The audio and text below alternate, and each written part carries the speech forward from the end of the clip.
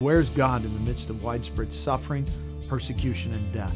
The story of Timothy Chung, who survived the horrors of communist leader Mao Zedong and his Marxist policies, which killed more people than any other ruler in history, is one answer to this question. The communist revolutionary Mao Zedong famously took control of China just four years after the end of World War II in 1949. He was determined to outdo the success of the British Industrial Revolution and to outshine Russian communism. To achieve this success, he implemented a program called the Great Leap Forward in 1958. This plan called for the collectivization of farms, the elimination of private property, the creation of worker communes, and the persecution of counter revolutionaries who were to be fired, labeled as rightists, and banished to work camps. This disastrous policy led to widespread famine, killing between 30 and 45 million Chinese, and forcing the survivors to subsist on grass, bark, and dirt, and in extreme instances, cannibalism.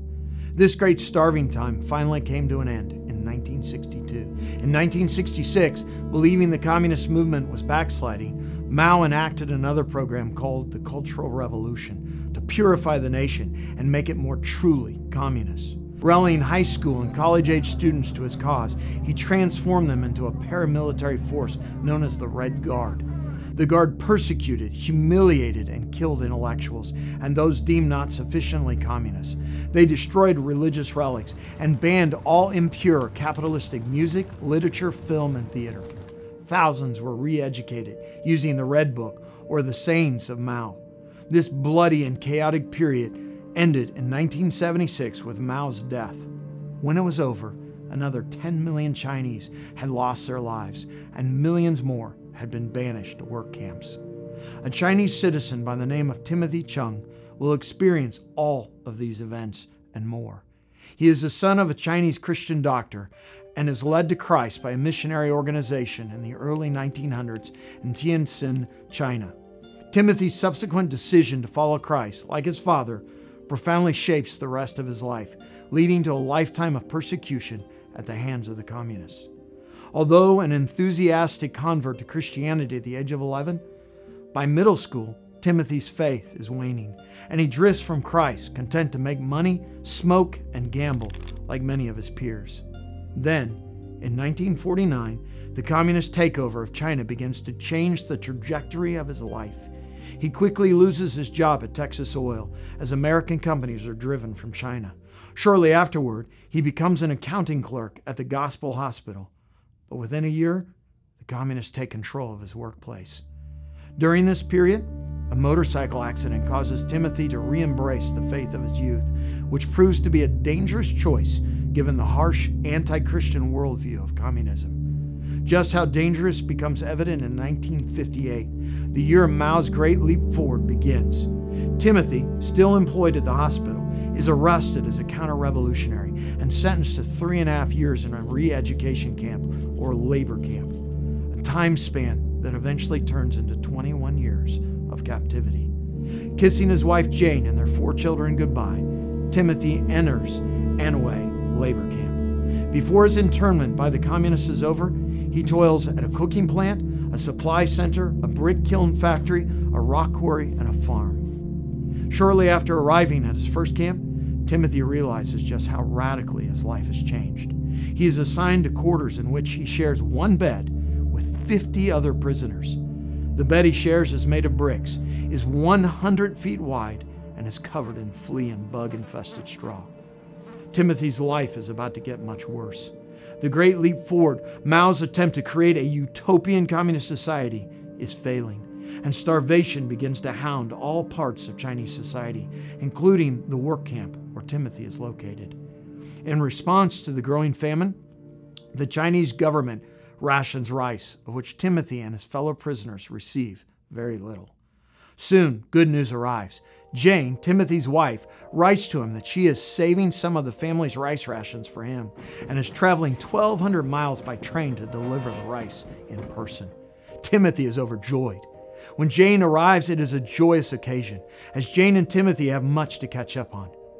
But the gnawing hunger in Timothy's stomach finally causes him to interrupt their conversation and blurt out, Where's the rice? With tears in her eyes, Jane confesses that the rice spoiled on the long trip and she had to throw it away. Timothy is devastated. As the months and years pass, the famine grows worse. By year three, Timothy and his fellow prisoners are reduced to eating wheat husk, grass roots, and bean cakes, a food typically reserved to feed pigs. The lack of food leads to edema or dropsy among the prisoners, which is a swelling of the limbs resulting in congestive heart failure, kidney disease, and even liver problems. Timothy becomes so debilitated, his communist captors move him from the rock quarry to a supply center and reduce his responsibilities to cleaning the offices of communist bureaucrats and an adjoining storage room. Ironically, his new assignment proves more challenging in some ways than working in the rock quarry. For as he is cleaning the storage room one day, he happens upon containers of candy. Hungrily, he eyes the chocolate and other delicacies.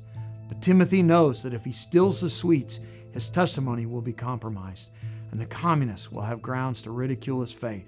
So, although starving, he resists. Then, when Timothy thinks he can endure no more, God intervenes.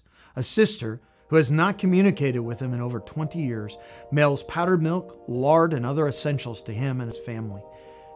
This miraculous intervention saves him from starvation. Timothy celebrates this moment by reciting Lamentations 3:22. It is the Lord's mercies that we are not consumed, because his compassions fail not. As Timothy regains his strength, he is sent into the cotton fields to work.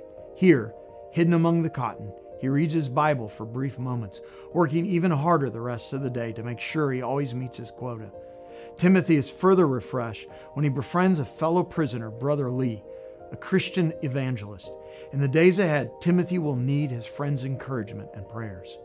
One afternoon, as Timothy is praying out loud over his meal, a camp officer hears him and becomes angered by Timothy's public display of faith. The officer decides to make a public example of Timothy by calling for a struggle session. These sessions are used to mock, heckle, hit, kick, shove, and sometimes, for greater intimidation, even hang the accused from a tree or a beam. In preparation, Timothy meets with Brother Lee to pray, knowing these sessions could turn violent quickly. That night, the officer brings Timothy to trial. He summons many frightened people to testify against Timothy. Some are even fellow Christians. Their attacks are vicious, but to Timothy's relief, no violence is used. Timothy is even given the chance to speak. He proclaims for all to hear that he is indeed a Christian and that the Chinese Constitution gives him the right to practice his faith in Christ. The officer who instigates the struggle session is furious, and he announces he will hold a second session tomorrow to deal with Timothy's impertinence. The next night, even as Timothy braces himself for what he imagines will be a night of violence at his expense, the miraculous happens. The meeting is inexplicably canceled.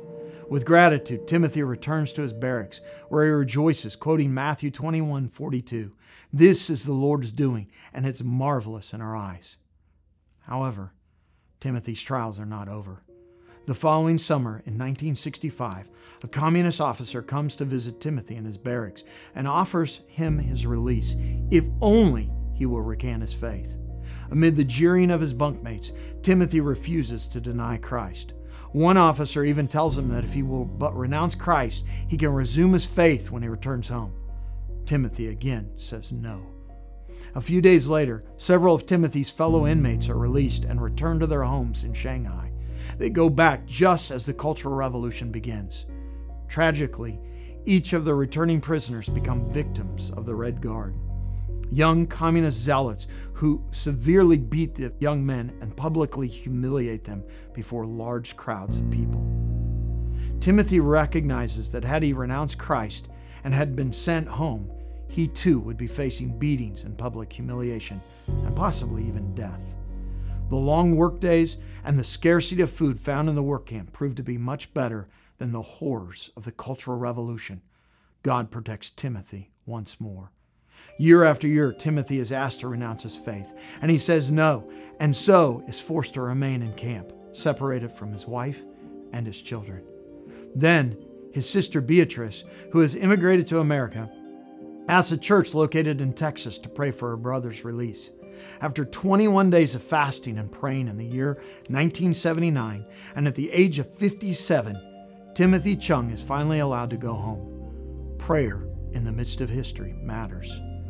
However, as a counter revolutionary, Timothy is not allowed to get a job, and the Chinese communists continue to ridicule and mock him as an enemy of the state. But Timothy is not done practicing his faith. Seeing a great need by the Chinese people for the Word of God, he becomes a conduit for smuggled Bibles into China. In 1981, the Chinese government learns of Timothy's Bible distribution and they arrest him. Timothy is terrified. He imagines at this point in his life he would fear no man. But the truth is, he feels physically ill as he thinks about facing interrogation by the police. He cries out to God. Fellow believers, hearing his plight, also pray for him to have courage. Each interrogation lasts about eight hours and goes on for 10 mind numbing days. The police hope to use Timothy as an informant to infiltrate the organization distributing Bibles. Timothy resists their harangues and intimidation, refusing to become a mole for them. He tells them to punish him as they see fit. In a rage, the chief interrogator beats the table, declaring every Chinese citizen has the obligation to serve his government. Miraculously, Timothy is released. However, he is blacklisted from traveling in China, placed under surveillance, and told he will never be allowed a passport to leave China. Nevertheless, during the next four years, Timothy applies and prays repeatedly for a passport to leave China, but the door is always closed. Once more, his sister in America asks the church to pray for her brother. This time, the church prays that God will grant Timothy a passport.